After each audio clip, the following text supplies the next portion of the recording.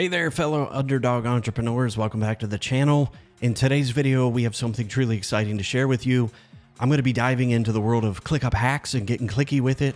I'm going to show you how I've created an epic marketing asset library in just a matter of minutes.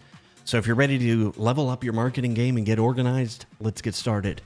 Before I do, though, before I get clicky with it, let me know if any of this sounds familiar. Your docs, images, scripts, videos, podcast episodes, all of your digital assets are stored all over the place. Some are in Dropbox, some are on Google Drive, some are in Adobe Creative Cloud. Some of them are actually sitting on your marketing admin's computer. Now, this makes it super hard to keep track of all your digital assets, and especially when that comes to keeping your marketing engine running as an underdog entrepreneur.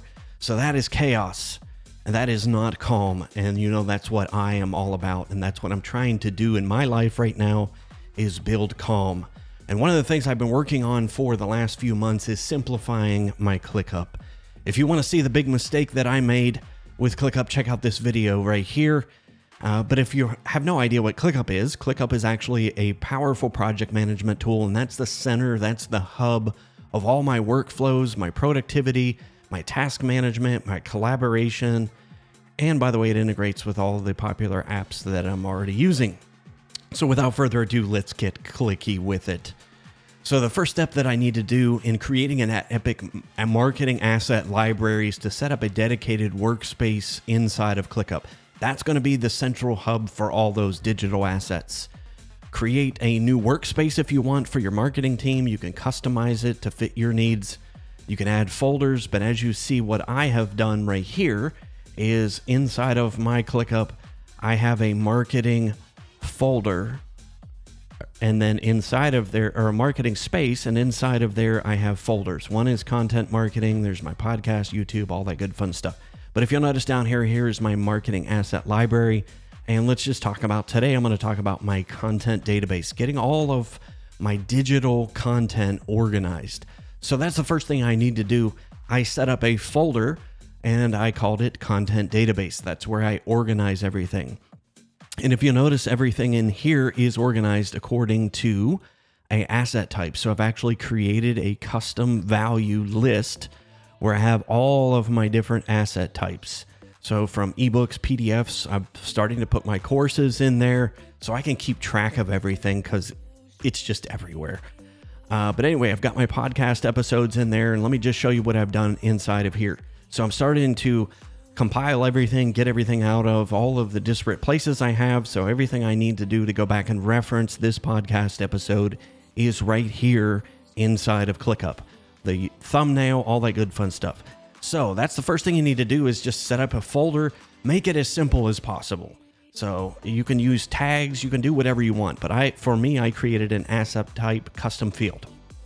And now once it, once that's created, then you got to plug everything in it's time to start uploading those assets into ClickUp, which you can easily drag and drop. And if you'll notice too, that's the other powerful thing with ClickUp integrations.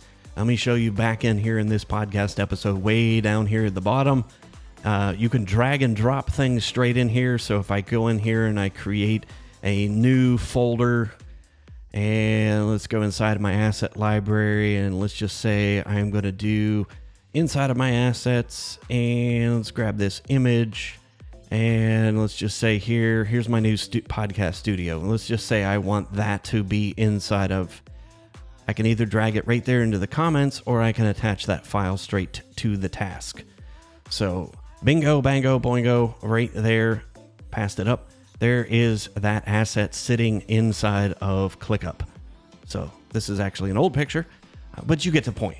Um, I can have all of my digital assets living right inside of ClickUp so I'm to go ahead and remove that. So that's the next thing you need to do, get everything inside of ClickUp. And again, this may take you some time to do, but I promise you that it's actually, it will be worth it for me. Uh, it has definitely made my life so much easier having thing in, having things in there, having it categorized, using the integrations that ClickUp already has. Oh, by the way, mentioning the ClickUp integrations, if I go back in here, you can actually connect Dropbox, Google Drive, SharePoint. I can add assets from all of those external resources straight inside of the tasks inside of ClickUp. So That is fantastic. Again, tools you're already using. So the next thing I need to do is if I have a team is being able to collaborate, communicate, I can do that right inside of those digital assets. And I can go back and reference all those conversations right inside of ClickUp. The next thing is custom views. As I mentioned right here is a custom view that I have where everything is sorted by asset type. The other thing that I've done is I've created a table view. So this is my custom view of all of my digital assets that I actually use for my creator dashboard. I'm going to show you a quick peek of that. So if you'd like to see more about my creator dashboard, drop that in the comments below and I'll make a video if there's enough uh, requests for that. So now, last but not least, this is the major, major hack for me is automations. I am all about getting everything automated so that I don't have to worry about it. So to, what I've done is to further streamline the process of getting this database built out as I'm creating assets, just like this video right here, I have that automation set up so that as soon as I'm done with this video and I mark it complete, it goes straight into my content database automatically. And there you have it, folks. Implementing these ClickUp hacks, you can create an epic marketing library in just a few minutes. But remember, organization is key when it, when it comes to maximizing marketing efforts and staying sane as an underdog entrepreneur. So again, as I mentioned in the next video, I'm going to give you a sneak peek of my content creation process. And I'm also going to show you the automations that I've set up to keep my marketing library up to date. Until next time, happy marketing. I'll see you in the next video.